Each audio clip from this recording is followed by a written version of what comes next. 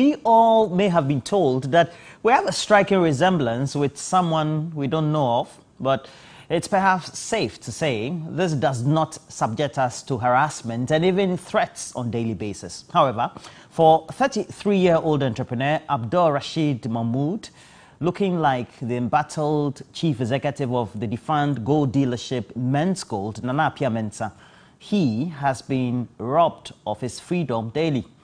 Well, Judge Quinn spent a day with him and our reports. Circle. I took a wrong turn and then another police traffic like personnel stopped me.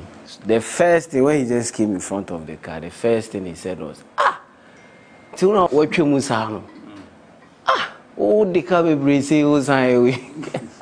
An initial glimpse of Abdul Rashid Mahmoud will not give room to think twice whether he's Nana Appiah Mensah, popularly known as Nam1.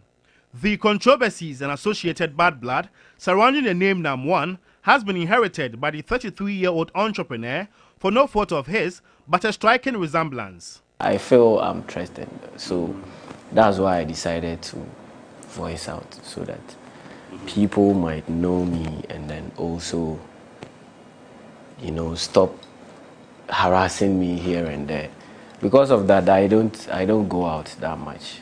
He has literally been robbed of his social life. This Salah, I got down with uh, my um, African wear. So one said, ah, enyo Then the other one said, ah, nani bodyguard way. So this my friend got down with a hat like this national security guys. So the moment he just came to the other side, one said in Hausa, the one she knew, yeah, be a kudina. And luckily enough, I understand Hausa too. So when he just said that, I told him that, man, Bashibani, like in Hausa, he's not the one. Because what you are thinking, they were planning that if I'm the one, then they will beat me that day and take their money.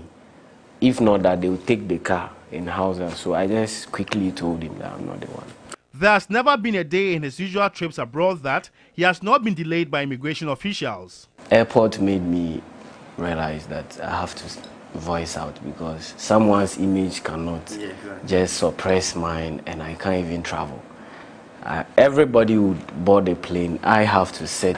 When you ask them what they are looking for, they will not tell you. All they can tell you is that um, yeah, we are checking something, we are checking something. So one day I just told the lady there that near Oshano or Christian, maybe a Muslim. So what you are looking for, I know it. Interestingly, he shares the same birthday with Nam1, May 16, and on that day, most posts of his are deleted by Facebook on reports that his post goes against community standards on spam. Though the situation has had a toll on him psychologically, Abdul fears for his life as he's always apprehensive of what awaits him aside the numerous harassments. Admitting that he's not financially stable to high security, he's currently managing with few friends as escort when he really needs to step out. Well, it's no fault of Abdul Rashid Mahmoud that it looks like Nam1. We all know the story that surrounds Nam1. But what really is the problem is the ordeal and humiliation he goes through on daily basis. It's no fault of his, it's mistaken identity. Well, he wants to, you know, leave his hair and even change his lens so that resemblance can be taken off. Let's see how that pans out. From East Legon, Josh Quenin reporting for TV3.